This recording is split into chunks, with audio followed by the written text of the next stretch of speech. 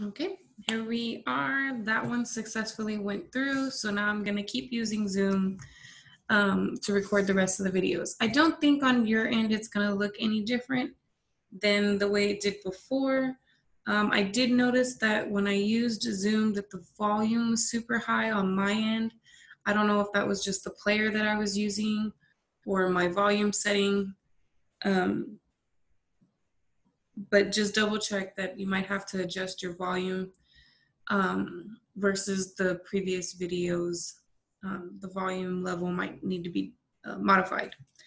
Okay, so for to continue the, the the review, we're here at number eight. Now we're going to start getting into solving logarithmic problems. Um, so again, I use the same thing as before. I like to use the inverse operations just because you're already used to that, right? If you have x plus 1, you already know to undo the plus 1, you minus 1.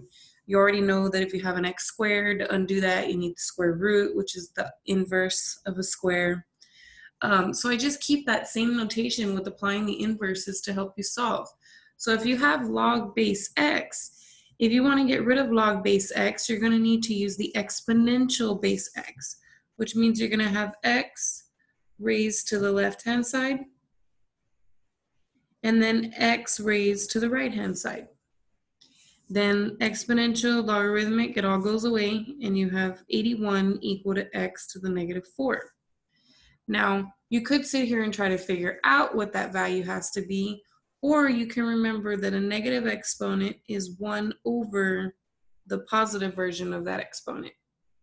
And then if I cross multiply, right, cross multiply, I get 81 x to the fourth equals 1. And then if I divide by 81,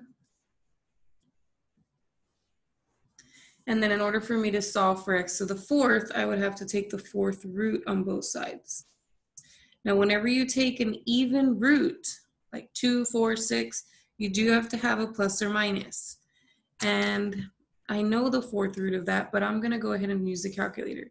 So remember, your calculator doesn't do it um, all together. It will do it one at a time. So let's see. Um, I'm gonna leave the plus or minus, and then I'm gonna have the fourth root of one divided by the fourth root of 81. And let's see what we get. We get one third, that's nice. Okay, so one third. So we got two values. We got one third and we got negative one third, right? However, your base can never be negative or zero. And so I can't have this as my base. So the only answer I could possibly have is one third. Now here, the same thing. Um, if I want to get rid of the log, I have to use this base. So this base, and then the left side becomes an exponent, and then that base, and the right side becomes the exponent because you are applying an exponential of base 5 to both sides. So this becomes an exponent, and that becomes an exponent. And then similarly, the logs are going to cancel. I'm just going to have x equal to 5 squared well, that's nice. It's just 25. And if I plug that back in here, the argument would be a positive 25, which is good. As long as it's not zero or negative, it is a good argument. So the answer here is just going to be 25. Now here, notice that x is already solved for, so I don't need to do anything further. What I do need to do is to be able to type that in the calculator, I have to change the base. I can't do log base 5 in my calculator. So I'm going to do ln of the argument over ln of the base. And this I can type in the calculator. So ln of the fourth root of 125, you get out from underneath there and close that for the ln.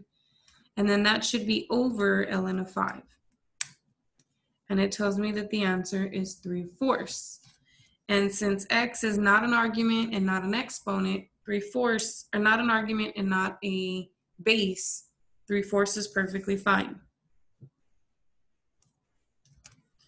Okay, we're finally getting somewhere with this um, review. Now, for numbers 11, for number 11, it says use the properties of logarithms to rewrite the expression, simplify as much as possible. So when it's all one log and they want you to simplify it, just look at your choices. They've expanded it, right? So remember, the properties say that if you want to separate this, you have to do the top um, argument minus log with the same base of the bottom. And then notice that they don't have 9y, right? They're separated even further. So when you have a product here, that product can be separated. And I would use brackets just to be careful um, because it may affect things. In this case, I don't think it will, but it could in other problems.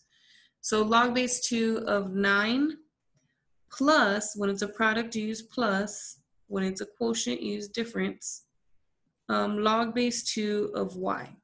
Now, if these guys had exponents on them, I would have to take whatever exponent that was and put it in front of that corresponding log. So if this guy had an exponent, I would have to put that exponent there. If this guy had an exponent, I would have to put it there behind the minus, okay? Just keep that in mind because you could or could not have exponents on the test itself. So here, I don't have a coefficient here and I don't have an exponent, so I don't really need that bracket. And now that should be my final answer. So I've got plus, no, plus and minus. That one seems like the one that's gonna be. Okay,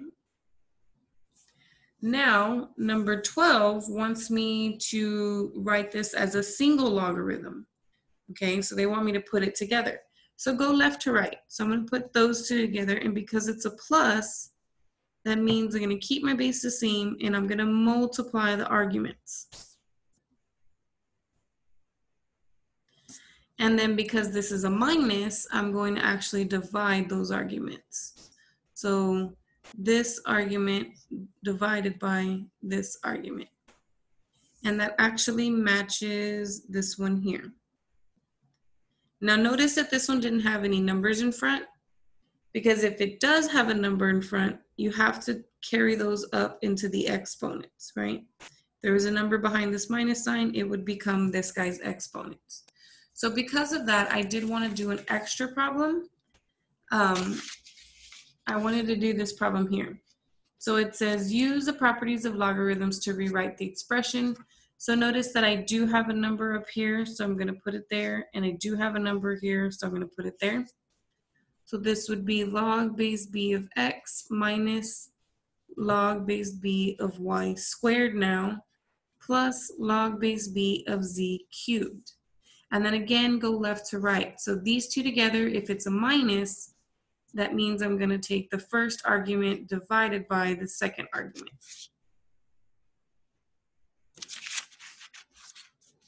And then keep this one there.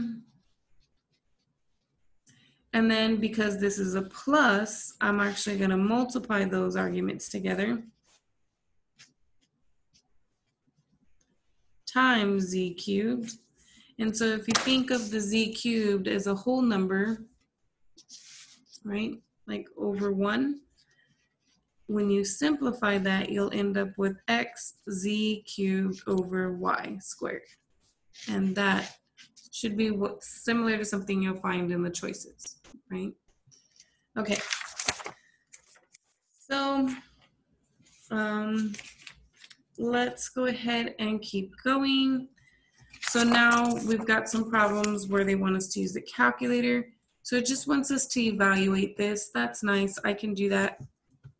Type ln of 0.0159. Would help if my calculator was on. And round to four decimal places. So one, two, three, four. The three is not going to affect the four. So we get negative 4.1414. Nice. Now here it says find an appropriate irrational solution to this equation. So um, I'm going to do the same thing again where I'm trying to get rid of the base. So I'm gonna do log base three on both sides And over here, this will cancel and I just have x equal to this. That can be typed in my calculator, but I have to change the base. So ln of the argument over ln of the base. And then if I type that in here, ln of the argument over ln of the base, we end up with this number and it says round to four decimal places. So the four is not gonna affect the two. So I get 1.7712.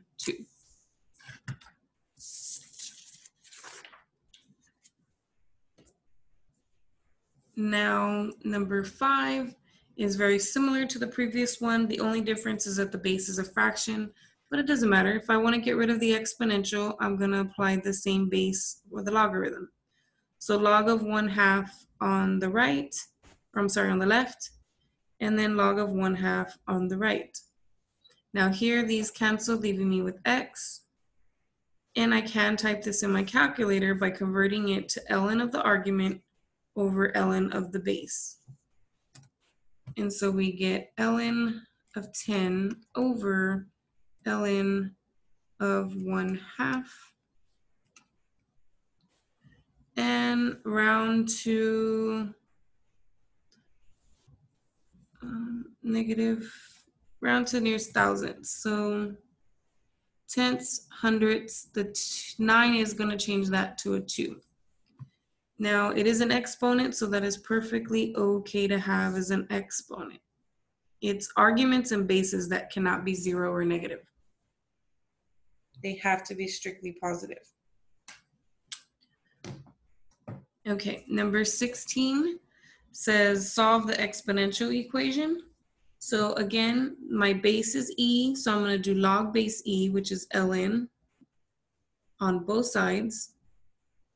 Here, these will cancel. I'll get x squared equal to ln. And in order for me to solve a square, I have to take the square root. But remember, when you take a square root, you get plus or minus. So let's do the positive version. And it says round to the nearest thousandths. Oops, I need ln of 75. So I get 2.078 and then negative 2.078. Now, these guys are exponents, and you can have negative exponents. You just cannot have um, no, or what is it, bases have to be positive, and um, arguments have to be positive, okay? Exponents can be whatever they want to be but your bases and your arguments are the guys that you have to make sure are positive. And since x is not a base and not an argument, it's an exponent, both of these answers are actually correct. So in the box, you would be typing in both. Now let's work on this one. So this one says to solve this. Now I do see the exponential part. It's right here. But in order for me to do log base two on both sides, I'm gonna have to get that exponential part by itself. So I'm going to actually minus two on both sides first. And I get 102. And then I gotta divide by the coefficient here. So I get 2 raised to the x minus 1 equal to 34. Now I can do the log base 2 on the left side of the equation and then the log base 2 on the right side of the equation. Here these will cancel. I'll have x minus 1 equal to this expression. And then if I add 1 to both sides, I get that x equals this expression, which can be typed in the calculator, but I do need to change the base first. So this would become ln of the argument over ln of the base, and then don't forget the plus one that needs to be there. So ln of 34 over ln of 2, and then off to the side, I'm going to put a plus 1. Oops, extra button there. There we go. I get um, 6 point, it says round to the nearest thousand, so tens, hundreds, thousands. So zero, eight, seven.